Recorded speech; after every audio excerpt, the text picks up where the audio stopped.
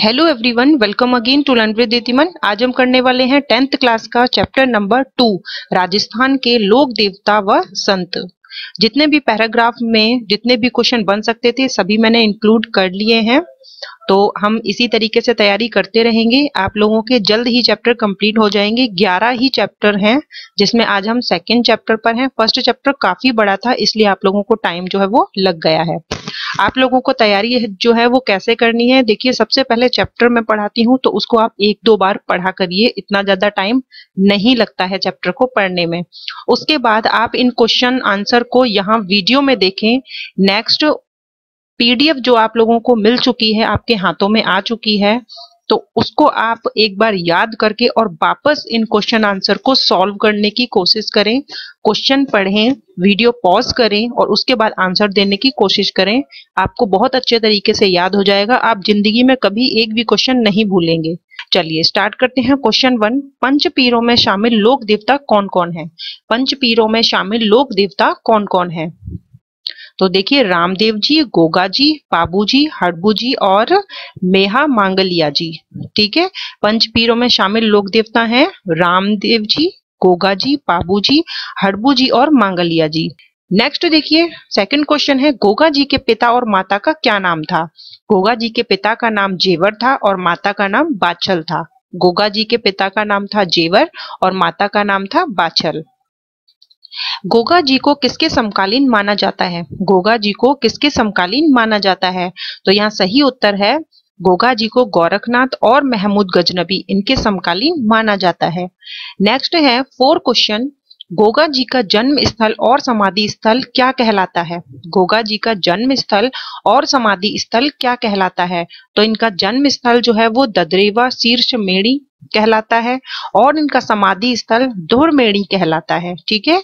इनका जन्म स्थल जो है वह कहलाता है ददरेवा शीर्ष मेणी और इनका समाधि स्थल धुरमेड़ी कहलाता है। नेक्स्ट देखिए क्वेश्चन फाइव गोगा नवमी कब मनाई जाती है? गोगा नवमी कब मनाई जाती है? तो यह भाद्रपद कृष्ण नवमी को मनाई जाती है गोगा मेड़ी हनुमानगढ़ में, ठीक है? गोगा नवमी भादों की कृष्ण नवमी को याद रहेगा। जैसा कि मैंने आपको बताया कि लोक देवताओं में ज़्यादातर भादों में मनाए जाते हैं इनके त्योहार। तो भादों की कृष्ण नवमी को गोगा नवमी मनाई जाती है। गोगा से गोगा मेणी और हनुमानगढ़ में यह मनाई जाती है। गोगा जी का पूजा स्थल कहाँ होता है? गोगा जी को कहाँ पूजा जाता है? तो इन्हें खेजड़ी वृक्ष के नीचे पत्थर पर उत्कीर्ण सर्प मूर्ति के प्रतीक के रूप में पूजा जाता है। मुस्लिम लोग गोगा जी की पूजा किस रूप में करते हैं? मुस्लिम लोग गोगा जी की पूजा किस रूप में करते हैं? तो जहाँ हिंदू इन्हें नागों के देवता के रूप में पूजते हैं, वहीं मुस्लिम लोग इन्हें गोगा पीर के नाम से पूजते हैं। क्वेश्चन नंबर एट है, हिंदू लोग गोगा जी की पूजा किस रूप में करते हैं? तो हमने देखा कि मुस्लिम भाई जो होते हैं, वो गोगा जी की पूजा गोगा पीर के रूप में करते हैं, वहीं हिंदू लोग नागराज के रूप में करते हैं। वीर तेजा जी का जन्म कहाँ हुआ था? वीर तेजा जी का जन्म कहाँ हुआ था? वीर तेजा जी का जन्म खडनाल, नागौर में माघ शुक्ल चतुर्दशी को हुआ था। वीर तेजा जी का जन्म नागौर में हुआ था, खडनाल में माघ शुक्ल चतुर्दशी को।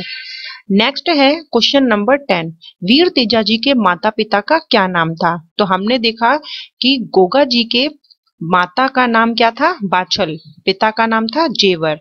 और तेजा जी के माता पिता का नाम क्या है? माता का नाम राम कुबरी और पिता का नाम ताहर जी। नेक्स्ट है question number eleven Teja ji की पत्नी का क्या नाम था? तेजा जी की पत्नी का क्या नाम था? तो इनका नाम था पैमल दे पैमल दे तेजा जी की पत्नी का नाम था। तेजा जी की मृत्यु कब हुई थी? तेजा जी की मृत्यु कब हुई थी? तो तेजा जी की मृत्यु हुई थी भादों की शुक्ल दसवीं को सुरसुरा किशनगढ़ में, ठीक है? सुरसुरा किशनगढ़ में, यहाँ सूरसुरा नहीं है, सुरसुरा किशनगढ़ में भादों की शुक्ल दसवीं को तेजा जी की मृत्यु हुई थी। तेजा जी का पशु मेला कब लगता है? तेजा जी का पशु मेला जो है वह कब लगता है? तो भादों में ही लगेगा मेला। भाद्रपद शुक्ल दसवीं को तेजा दसवीं मनाई जाती है। इस पर पंचमी से पूर्णिमा तक मेला लगता है। ठीक है? तेजा दसवीं पर पंचमी से पूर्णिमा तक तेजा जी का मेला लगता है। तेजा जी का पशु मेला कहाँ लगता है? तो यह मेला जो है, वह भादों की शुक्ल दशमी पर पंचमी से पूर्णिमा तक नागौर में लगता है, पर्वतसर में। नेक्स्ट है, नागों के देवता के रूप में कौन से लोक देवता पूजे जाते हैं? नागों के देवता के रूप में कौन से लोक देवता पूजे जाते हैं? तो देखिए तेजाजी और गोगा जी दोनों ही नागों के देवता के रूप में पूजे जाते हैं। स्टोरी हमने चैप्टर में पढ़ ही ली थी तो यहाँ पर डिस्कस नहीं करेंगे। यहाँ याद रखना है कि तेजाजी और गोगा जी, इन दोनों को ही सर्पों के, नागों के देवता जो है वो माना जाता है। नागों के देवता के रूप में उन्हें पूजा जाता है।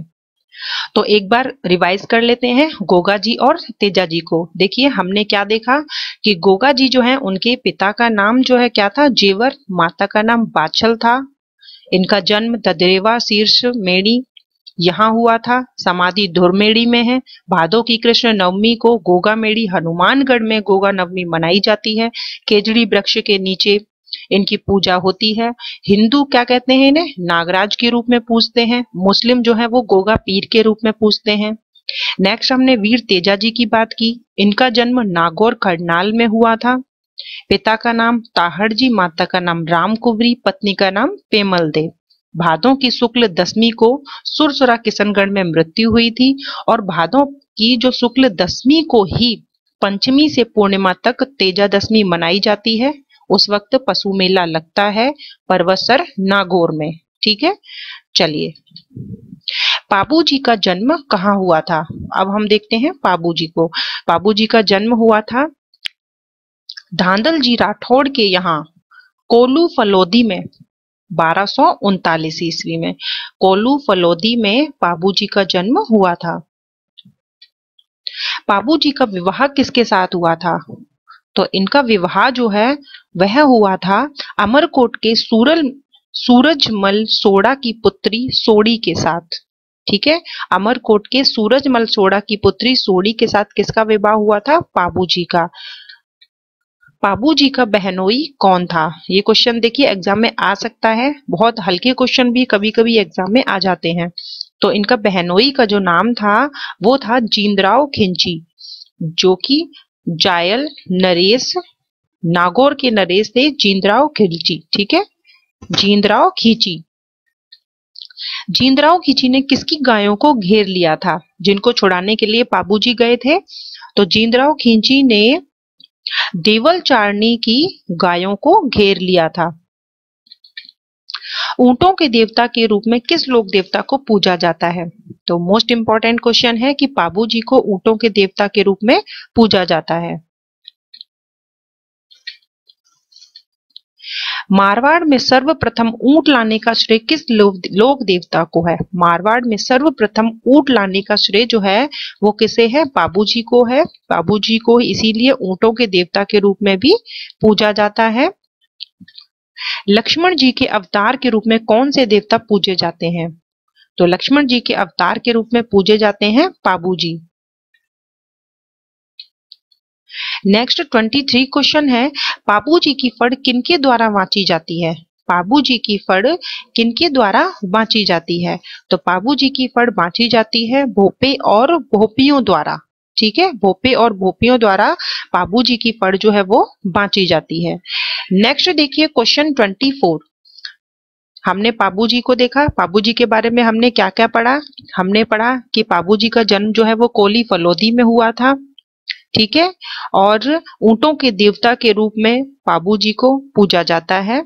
लक्ष्मण जी के अवतार के रूप में पाबू जी को पूजा जाता है। इसके अलावा हमने अभी देखा कि पाबू जी की फट जो है वो भोपे और भोपियों द्वारा वांची जाती है। देव नारायण जी का जन्म कब हुआ था? 1243 ईस्वी में देव नारायण जी का जन्म हुआ था। देव नारायण जी की पत्नी का क्या नाम था? तो इनकी पत्नी का नाम था पीपल दे। ठीक है? देव नारायण जी की पत्नी का नाम था पीपल देव देव नारायण जी की पूजा स्थल कहाँ है? तो देव नारायण जी की पूजा स्थल जो है वह भीलवाड़ा में है, आसीद में, ठीक है? भीलवाड़ा, आसीद में देव नारायण जी की पूजा स्थल है। नेक्स्ट है देव नारायण जी का मेला कब लगता है? देव नारायण जी का मेला जो है वह है कब लगता है? तो इनका मेला भादों की शुक्ल सप्तमी को लगता है। तो देखिए, सबसे पहले जब हमने बात की थी किसकी? गोगा जी की तो भादों की कृष्ण नवमी को, गोगा नवमी मनाई गई थी। तेजा जी की बात की तो तेजा जी भादों की शुक्ल दसवीं को देव नारायण जी की बात की तो भादों की शुक्ल सप्तमी को मेला लगता है। देव नारायण जी के मुख्य अनुयायी कौन है जो उनकी पर्ण बांचते हैं? बाबू जी की पढ़ भोपे और भोपियों द्वारा बांची जाती थी, और देव नारायण जी की पढ़ जो है वह गुर्जरों के द्वारा बांची जाती है, ठीक है? ये इनके मुख्य अनुयायी जो हैं वो माने जाते हैं। चलिए आज का वीडियो जो है वो यही समाप्त करते हैं। नेक्स्ट क्वेश्चन हम नेक्स्ट वीडियो में करेंगे। इसी तरीके से आप लोग याद करते रहिए। जिस तरीके से मैंने आपको बताया है कि सबसे पहले चैप्टर जो है दो बार पढ़िए, उसके बाद इन क्वेश्चंस को सुनिए। नेक्स्ट जो पीडीएफ फ़ाइल है या जो भी आपने नोट किया है, उनको याद करिए और फिर यहाँ पर आकर इन क्वेश्चंस को लगाइए। पॉज करिए और इनके आंसर देने की कोशिश करिए। मिलते हैं नेक्स्ट वीडियो में। Thank you